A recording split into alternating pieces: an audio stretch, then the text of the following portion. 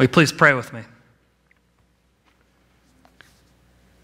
God, we ask that it is you that we hear and feel in these words and in this place. Please help us to make church not about ourselves. Amen. So, very quickly, I want to tell you how the rest of this series is going to play out because today we're doing chapter 3. Next week, we're actually going to take a break from the book. So, if you haven't gotten caught up on all your reading, you'll be able to next week. So, next week, there, we will not be doing a chapter here. We'll take a break from it. But the following week is where it gets a little crazy, but it's going to be exciting because we're actually going to skip chapter 4 and do chapter 5 first. And then we're going to go back to chapter 4, and then we'll close the book off with chapter 6. Did you hear that? So next week, no chapter. The following week is what? And then? And then? Awesome. So you'll all have those read, and we'll be ready to go. Now, a number of you know this about me. Maybe not all of you, but a number of you do. When I was in high school, I wanted to be a doctor. And so, out of high school, right as senior year, I applied to med school. There was like this advanced track system, and I was accepted into med school. And I was going to go and I was going to be a doctor. And my um, family physician encouraged me not to go through the fast track, but instead go to a four year college and do pre med that way. Enjoy your college time. Don't crunch your college, your undergrad down into two years to do this fast track. And so I followed his advice and I went and I did that. And I was at first a chemistry major and then I became the first class of neuroscience majors at Hiram College. And I was going to go and be a doctor. That's what I wanted. I knew that that's what I was supposed to do and that's what I wanted. Several years ago, my family was out to eat. My nephew was around four years old, and he wanted something or other. I don't really remember exactly what he wanted while we were all eating, but he didn't get his way, and so he did what a lot of four year olds do. He threw a huge tantrum in this restaurant. He began crying and screaming, and I had had enough, and so I took him and I put him in the van outside, and I told him that we weren't going to leave the van until he was done screaming. Well, he thought I was bluffing. And so we sat there, and he screamed and he screamed and he screamed, and I ignored him. Our entire dinner was stalled because of his tantrum. Kids do these things, right? Adults do these things too. There are moments in all of our lives where we want everything to be about us. And when it's not, when our schedule gets messed up, or the most common one is when someone cuts us, this happened to me just yesterday, when someone cuts us off, we throw a tantrum. Sarah had to tell me to calm down. We can throw tantrums as well. And the hard part is determining when it's okay to push for our preferences and when we need to step back and serve a greater good and not serve ourselves. That's the hardest part, figuring out which we're supposed to do. Jesus tells his followers if anyone wants to be first, he must be last of all and servant of all. There's a slide for that one. There we go. Whoever wants to be first must be last of all and servant of all. This is one way where Jesus puts other over self. And that's a good model for church membership, putting other over self. We come together to praise God, give thanks for all of our blessings, and to serve others in our quest for God's will being done on earth. That's what we pray every week. Your will be done. But how? By serving others, we can be working towards God's will being done. At the last church I served, I had an elderly woman speak to me once about her grandchild. She came up to me and she said that her grandchild was absolutely crazy. He was wild. He would scream. He would cry. He would throw tantrums. He never was. He would never behave himself. He would destroy anything within arm's reach. And he was all around cantankerous and ornery, just completely crazy and he was only 11. And she told me all this because she said, if only he would be baptized, then he would be okay.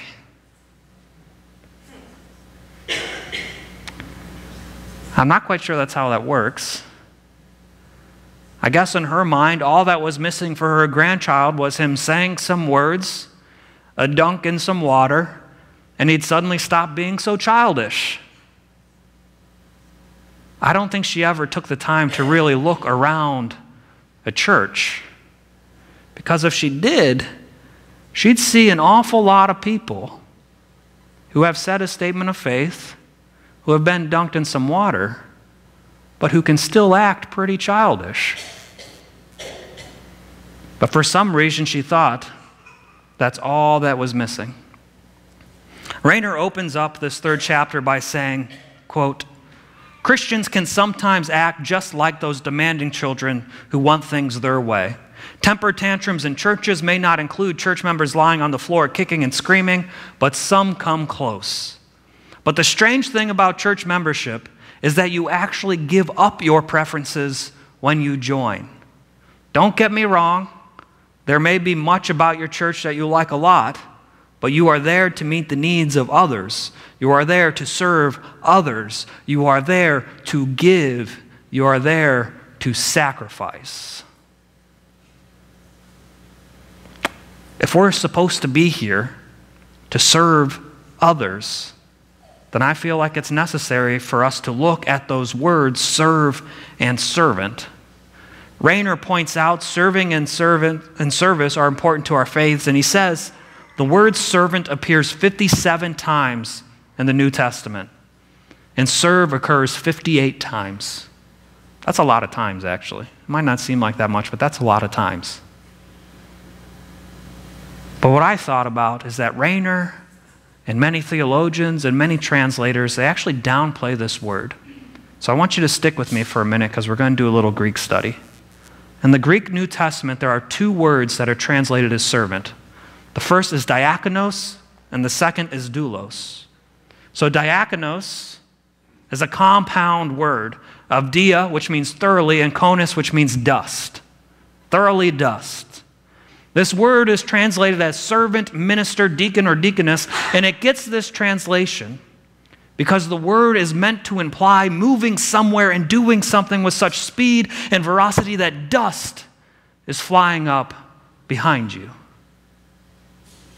A servant, in this sense, is always active. A diakonos, which sounds a lot like the diaconate, right? Deacons and deaconesses, is always active, is thoroughly dust, is doing so much work for God that earth is flying up around them. The second word that's translated as servant is doulos, and a more accurate translation of this, and the most literal, is slave. We pretty it up in our, in our Bibles. It means slave. But it's hard for us in our world to understand the kind of bondage that our faith asks of us. It asks for us to completely surrender our will to God. God alone is our master, not our checkbooks, not the gas pump, not our cars, not our possessions. Nothing but God is our master. So, if we claim to be a servant, then we should be a slave to God, and a slave serves without any kind of payment expected. So, if the only reason you're here is so that you can have some kind of ultimate reward later, that's not the kind of servant that God calls for us to be. We should serve without the expectation for God to give to us because we've served. So, one last Greek word I want to do and that is latreo. And this gets translated as to serve. But the best definition is to worship. Because latreo means to serve in something for which you were designed. And we are all designed to serve through worship. By looking more closely at the word servant and this word serve, we can see that it's more than just saying that we're following God. It's more than just showing up to church. It's more than just giving some money or some time. If we are servants, then we are all slaves to God, not in the sense that God owns us, but in the sense that we serve God always without any expectation for payment in return.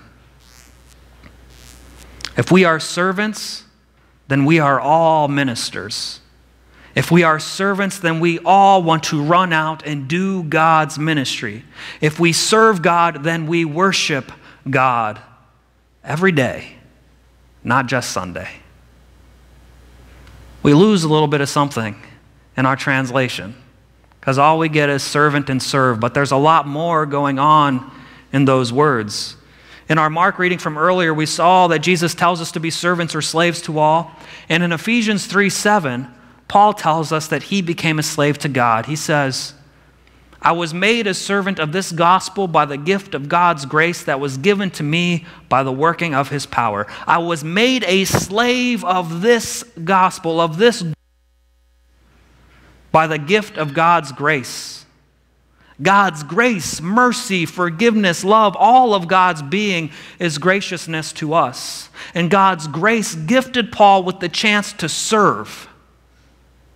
And we are called to do likewise.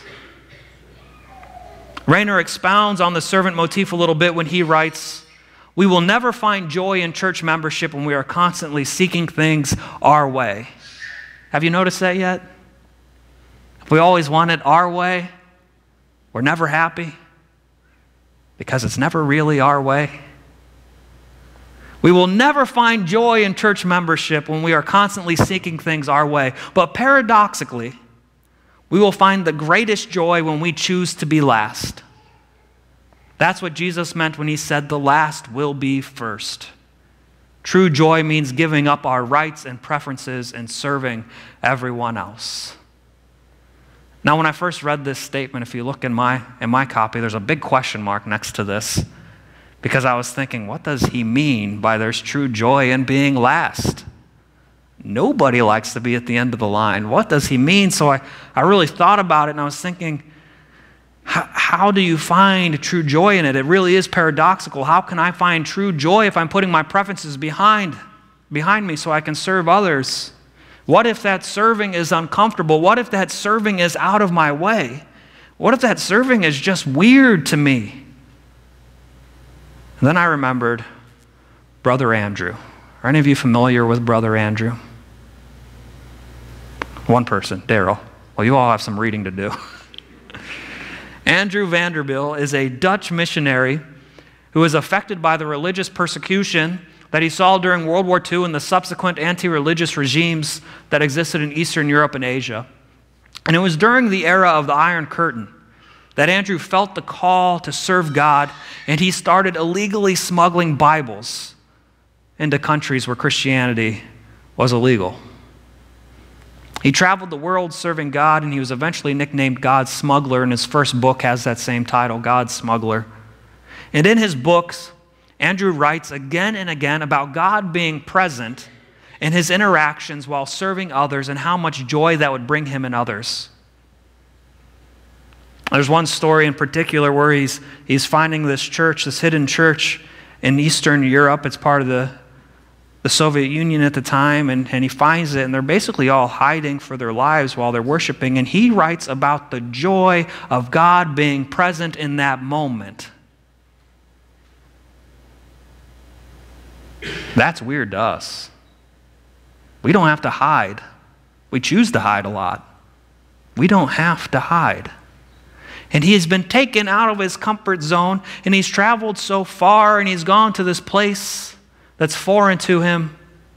And by putting others first and himself last, he finds his greatest joy. He went out of his way to serve. Are we members who truly desire to serve God? Or are we members who desire to serve only self? Rainer and some others went and they interviewed some churches who were largely self serving. Another way he could have labeled this, and if you read other books on this, this is how it would be labeled. He went and interviewed churches that are dying. That are largely self serving, and they came up with 10 dominant behavior patterns that these churches exhibited. And these 10 patterns are what kept them from being God's servants. And so we're going to look at these 10 patterns, and I want us to see if we find ourselves in any of these patterns. And they are worship wars, prolonged minutia meetings, facility focus, program driven, an inwardly focused budget, inordinate demands for pastoral care, attitudes of entitlement greater concern about change than the gospel, anger and hostility, and evangelistic apathy. Did you find yourself in any of these 10? Don't think about anyone else. Don't think, oh, I see so and so up there. Just ask yourself if these behaviors get in the way of you serving God. Do they?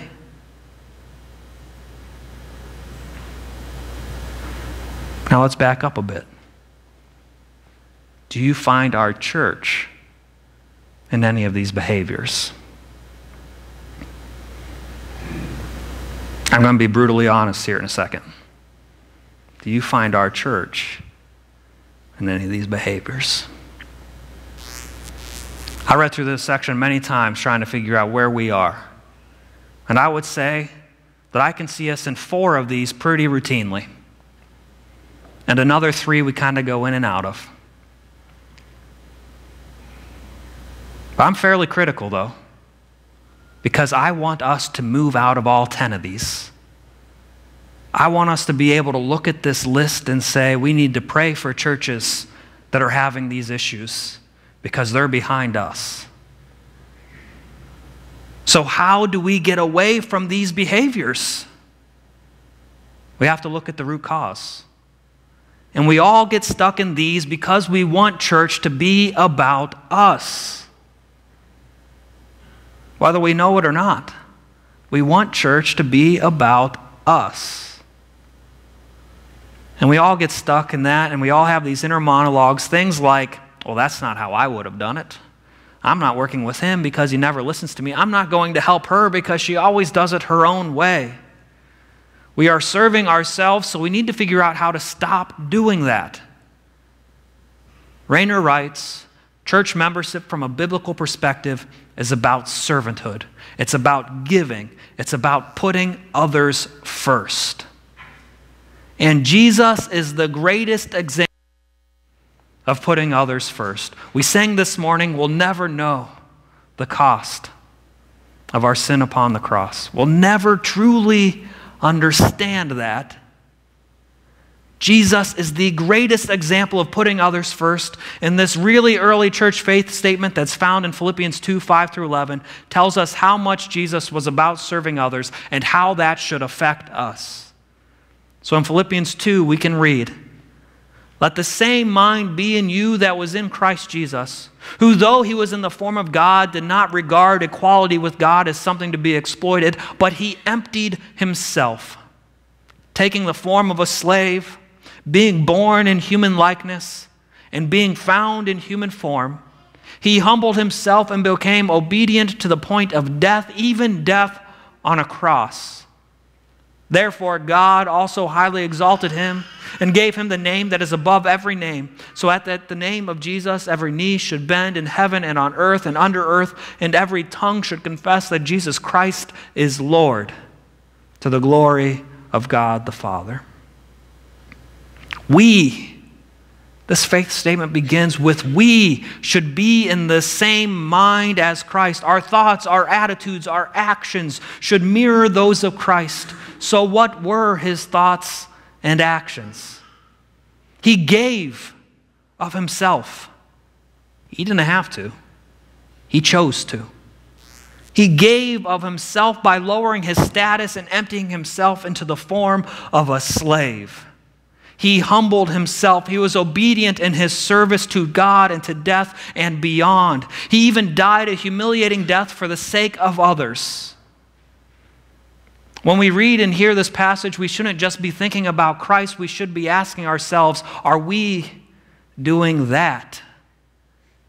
Are we following Christ's example? and being good servants and great church members.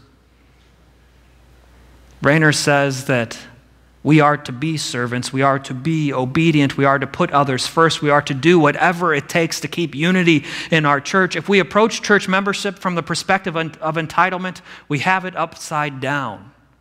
You always ask first what you can do for the church. And we all have been blessed with gifts that we can give. I wanted to be a doctor. But that's what I wanted. I don't know if I would have found true joy in that. And I don't know if you all can ever understand the joy that I have being a part of your lives. Being there with you in the hospital, celebrating in your homes, getting to see a new baby. I don't know if I ever would have found that joy being a doctor. And halfway through my undergraduate experience, I felt a shift within me, and I knew that I wasn't supposed to do that, that I had a different calling that I needed to follow. And so I changed paths. But if you had met me in high school, I would have told you that I am going to be a doctor. If today, you decide that you want to become the kind of servant that Jesus and Paul speak and write about, then I ask for you to take the third pledge with me. But know that it is tough, that this is a tough pledge to take. It's easy to say the words, but it's much harder to live them. Because we're afraid that if we don't pursue our own desires, we won't be happy. But we should know that if we serve God, then we will all be very joyful in working toward the kingdom. So please stand and take this pledge if you no longer want the church to be about your desires and preferences.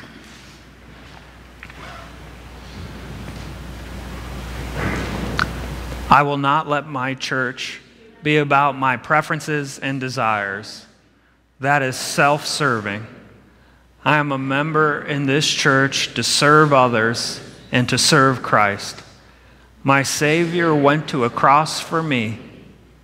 I can deal with any inconveniences and matters that just aren't my preference or style. Amen.